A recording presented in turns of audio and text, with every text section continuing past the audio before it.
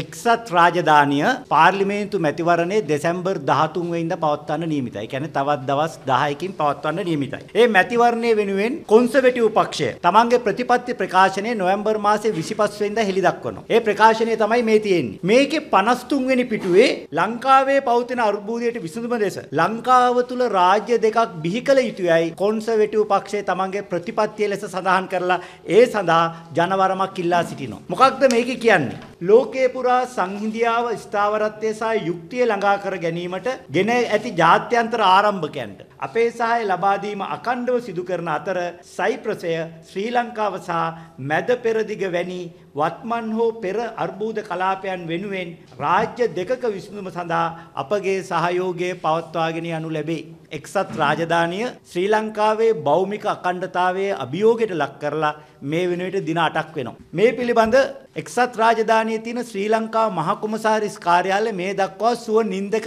සැතපී ඉන්නේ. එක්සත් රාජධානියේ තිබෙන ශ්‍රී ලංකා තානාපති කාර්යාලයේ මේ පිළිබඳ කිසිම නිවේදනයක් නිකුත් කළා නැහැ. හරිනම් ඔවුන් මේ හෙලා දෙකමින් නිවේදනයක් නිකුත් කළ යුතු තිබුණා.